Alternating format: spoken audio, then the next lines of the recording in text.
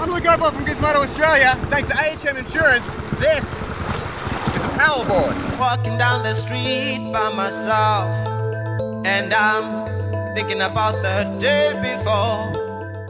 I'm Chris Preston from Powerboards. I developed this company. We started the development on it seven years ago. The reason why we developed it was because I like to surf and I have a shoulder injury which was stopping me from paddling. I've had the surgery since, but I still can't paddle without getting a sore shoulder, so the motorised surfboard works for me.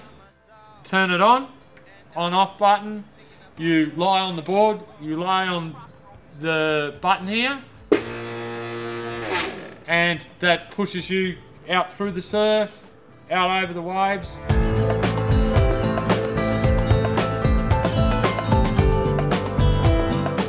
This is the fin.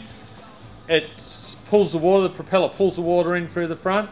It pushes it out through the back, which is a smaller outlet, so it, it crushes the water. That gives it a bit more power. Inside there's a water inlet, so whenever you're on the power, it forces water in the inlet, and that comes out in the top of the board, and you see like a telltale. It's a bit like a jet ski system, which keeps all our electronics really cool. So here's what they look like inside. You have a shaft come through to a universal. Your motor's inside a water-cooled housing, so they just run much more efficient. Connected to the battery, through to uh, a relay, and that's our safety device.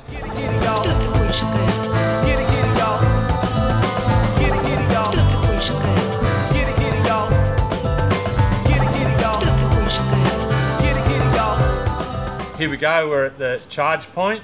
Virtually, it's a 20 cent piece to undo this component of the board. No screwdrivers, 20, 10 or 50 cent piece. You'll undo it, cigarette lighter plug, plug it in, and it runs for 35 minutes continuous once it's fully charged.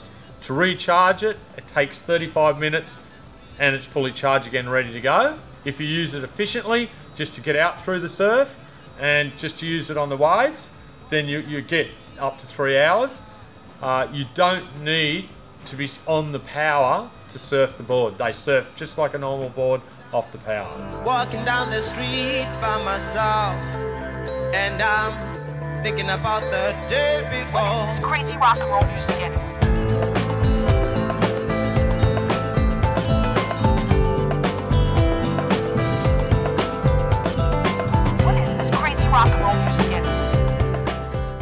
What's interesting about this board is that this is actually a copy of an actual surf life-saving board, is that right? Yes, this is the Faddle model. We did a race model.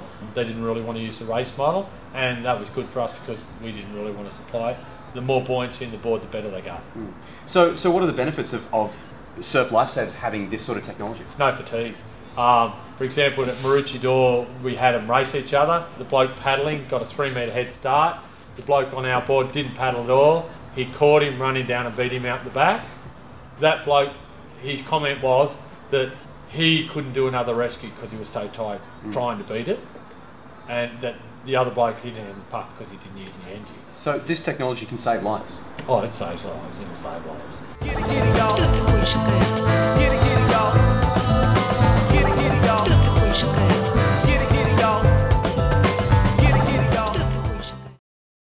Traditional health insurance isn't as useful as it should be.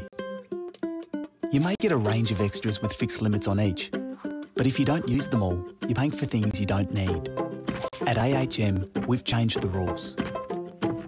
We combine your separate extras limits into a single annual limit for you to use however you want on the included extras. Use 100%, waste nothing. We are AHM. Switch today.